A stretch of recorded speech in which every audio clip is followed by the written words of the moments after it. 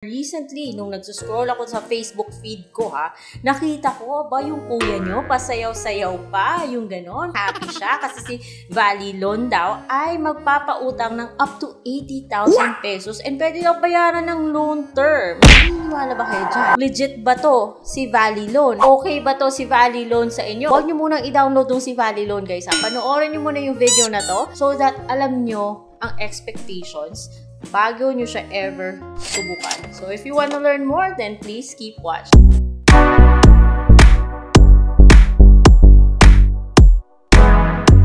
Hi everyone! Welcome back to my channel. It's me, Ate and for today's video, pag-uusapan natin tong si Valley Loan na ba yung kuya nyo pasayaw-sayaw kasi mukhang promising to si Valley Loan ha.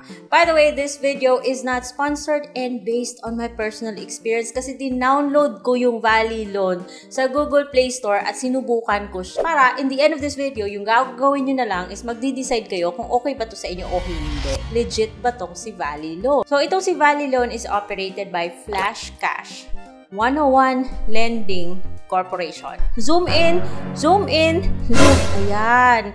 Ito daw yung new wow pera. Ito ba yung pinag-usapan na natin dito sa channel na to?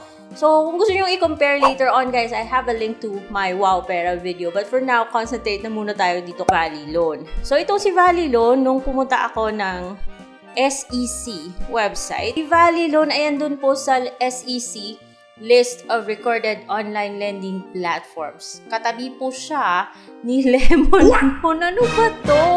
Di ba pinag-usapan natin si Lemon Loan? So, kung gusto nyo i-compare, then I also have a link in the description box below. Again, si Valley Loan yung ating pag-uusapan. So, like I said guys, huwag niyo munang i-download. Panoorin nyo lang video na to para sure kayo. So, up to 121 days daw. Pero bakit sabi dito yung maximum loanable amount is 21,000 tapos dun sa Facebook ads 80,000 pesos or pesos ba yun? Anyways, let's just move on na lang kasi hindi naman siya masyadong clear. I always say dito that um, kahit na rehistrado sa SEC, it does not automatically mean na okay siya sa inyo. Kaya iba na yung nag-iingat tayo, di ba?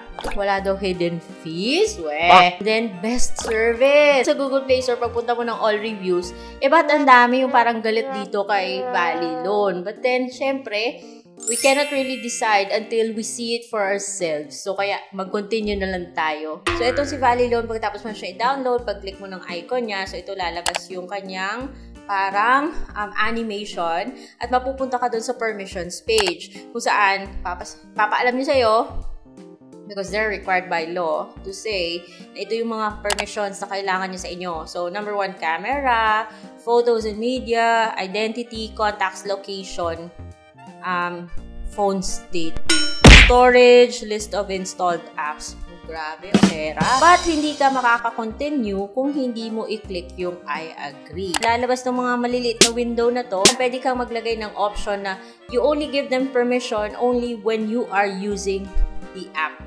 So, i-continue lang ng continue kasi hindi ka naman makakapag-proceed kung hindi mo yung bigyan ng permission yung loan na to, yung loan app na to. At after that, pupunta ka doon sa privacy policy and then kailangan mag-agree ka din doon. Under siya kay Flash Cash 101 Lending Corporation and meron pa siyang contact number dyan at saka meron pa siyang email address. So, I agree.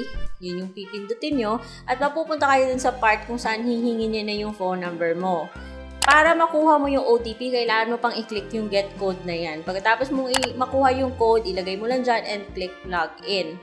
Pagkatapos niyan, meron siyang konting reminder na huwag mo daw i-share yung OTP ha. Tapos proceed na. Pagkatapos ng proceed, kaya i-collect niyo yung mga personal information mo. Magsisimula siya doon sa marital status. Mukhang familiar to ah. And then, highest education, email, and mandatory po. Basta may asterisk, mandatory talaga yan. Hindi ka makakapag-proceed sa next kung hindi mo yan malagyan ng information. Tulad ng Facebook, guys. Take note, hihingi niya yung Facebook mo. Tapos yung current address, detailed address, residence type, kung nag kung nagre-rent ka or you own the house you're living in, and then collection method. So dito naman pwede naman siyang pwede siyang e-wallet like um, GCash or GrabPay, pwede ring bank. And pwede ring remittance store tulad mga MU Willier, mga RD Pawn Shop, yung mga ganun. Pagkatapos no, may pasabi pa siyang almost done. 3,000 na daw for providing those information. So, just click proceed at mapupunta ka dun sa page na hihingin niya yung contact reference. At hindi, yung hihingin niyang contact reference ay apat. At hindi ka pwedeng maglagay-lagay ng kung sino-sino na lang guys kasi kailangan pipiliin mo dun sa, face, sa phone book mo. Kaya nga humingi siya ng ng ano ng permission na i-access yung phone book kasi doon ka magpipili ng contact reference mo. So, apat. Pagkatapos noon, just click next step. May reminder ulit siya na dapat alam ng mga reference mo na ginawa mo silang reference. So, pag may ganito, expect ka na matatawagan yung mga taong yon. So, just click proceed if you know what you're doing. And then yun, congrats na daw kasi nasa final step ka na at kung makomplete mo daw to ay pwede kang mag- makapag-loan ng up to 20,000 pesos. Bang! Anyway, so just click proceed kasi i-collect niya na yung information ng ID mo. So, yung mga IDs na hihingin niya sa, na pwede, tinatanggap niya is yung UMID, yung driver's license, CIN, passport, SSS, PRC, postal, PhilHealth. Andito po yung list. Pagkatapos noon, pipicturean mo yung ID mo. Tapos, ila, ibibigay mo lang yung information na hinihingi siya. So, from your ID number, your name, date of birth, gender, purpose of the loan. Hindi ko man nire-recommend yung loan app na to guys, but just a reminder, kapag nag-fill out tayo ng mga form na to, dapat magkatugma yung information natin dun sa ID tsaka sa form. So, pagkatapos nun, pipicturean mo yung ID mo or pwede yan. Pagkatapos na picture mo yung ID mo, syempre, meron naman po siyang mga instructions. Um, sundin lang yung mga instructions na yan. Pagkatapos mo picturean yung ID mo, kaya yun, um, magsiselfie ka na nahawak-hawak mo yung ID mo. Ito na tayo, papunta na tayo sa exciting na part, guys. Yung exciting na part is, pagkatapos mo ibigay yung ID, yung lahat ng information na yan, doon na ako sa page na processing. Kung ikay pasayaw-sayaw din tulad ng ng kuya nyo, ng kaibigan nyo, na kanina dun sa Facebook ads, parang mapapagod ka yata sa kasayaw-sayaw. Kasi ang tagal-tagal niyang processing niya, guys. Ilang oras ako nang hintay. Parang kinuha lang yung personal information ko. Not good. sabi niya madali lang. Tapos sabi niya processing maximum amount 20,000 pesos daw. But that is Di ba ba tayo natuto na that is not always the case? Because kahit na sinasabi nila na maximum loan about loanable amount is 20,000 pesos, kahit na maganda pa yung credit history mo usually kapag sa ganito mga loan apps, magsisimula ka naman talaga sa mababang amount. Ganyan talaga. That's the way it is, guys. Kaya yun, And ang tagal-tagal kong hinintay, processing na lang ng processing. Kaya sabi ko, wala nang mangyayaring maganda dito. Um, para sa akin, red flag na yon. Uh, at least now you know na ito yung pwedeng mangyari pagkatapos yung ibigay yung inyong mga personal information. So, kayo, depende sa inyo kung gusto nyo i-risk. Pero para sa akin, red flag na to. Balik tayo dun sa mga comments sa Google Play Store kung saan siya nada-download. I-click nyo yung display all comments at punta kayo dun sa mga nagbigay ng 1 star.